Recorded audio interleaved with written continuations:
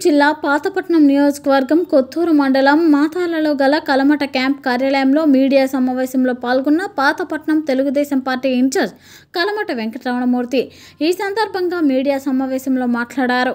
రాష్ట్ర ప్రభుత్వం తక్షణమే ధాన్యం కొనుగోలు కేంద్రాలను ప్రారంభించి రైతు పండించిన పంటను గిట్టుబాటు ధర కొనుగోలు చేయాలని అలాగే రైతు ఏడాది కష్టపడి ధాన్యం పంట పండిస్తే తీరా పంట చేతికి చేరే సమయానికి రాష్ట్ర ప్రభుత్వం కొనుగోలు కేంద్రాలు ప్రారంభించకపోవడం చాలా దారుణమని అన్నారు.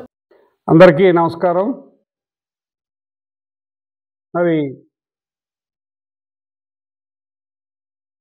రైతులకి పంట చేతికి వచ్చే సమయం రైతులందరూ కూడా ధాన్యాన్ని ఇమ్ము చేస్తూ వాతావరణం అనుకూలించకపోవడంతో ధాన్యాన్ని ఇమ్ము చేస్తూ రోడ్ల మీద అమ్మడానికి పెట్టుకోవడం జరిగింది.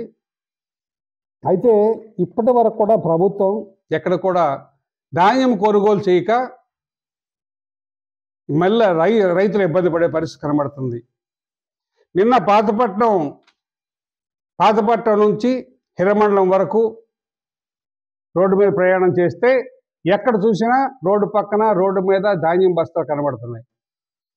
నేను ఎమ్మెల్యే గారికి అడుగుతున్నాను నేను రెడ్డమ్మకి. ఎమ్మెల్యే గారు ఏదైతే రైతుకి ఆరుగాలం కష్టపడి పండించే పంట చేతికొచ్చింది వాతావరణం అనుకూలించడం లేదు. ఈ సమయంలో వెంటనే రైతు భరోసా కేంద్రాల ద్వారా ధాన్యాన్ని కొనమని నేను డిమాండ్ చేస్తున్నాను. ఇలాంటి వరకు మిల్లర్ల మీద లేకపోతే మా అధికారుల మీద పెట్టి మీరు తప్పించుకోవడానికి వీల్లేదు. రైతుకు గిట్టుబాటు ధర ఇప్పించవలసిన బాధ్యత మీకుంది. ఈవేళ రైతులు కోసేసి రోడ్ల మీద ఒక్కసారి మీరు తిరుగుతుంటారు. తిరిగేటప్పుడు పాతపట్నం మొదలుకొని హిరమండలం వరకు ప్రతి గ్రామం దగ్గర కూడా ప్రతి పొలం దగ్గర కూడా ధాన్యం బస్తాలు ఇప్పుడు కురసవాడ కాగువాడ గ్రామాల్లో అయితే నిట్టలు వేసేసి ధాన్యం బస్తాలు లేకపోతే ధాన్యం కళ్ళాలు కనబడుతున్నాయి. మీరు తిరుగుతున్నారు చూస్తున్నారు.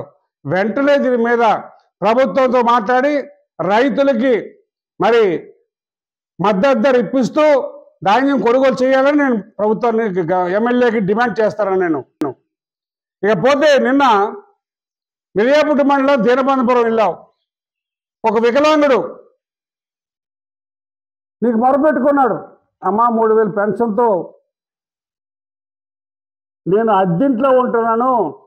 ఇల్లు మంజూరు చేయమని. ఏమమ్మా నీ కనికరం కలగలేదా? ఆ దివ్యాంగుడిని చూసేదా నీకు? మరి కళ్ళు పేలలేదా? మనసు అంగీకరించలేదా?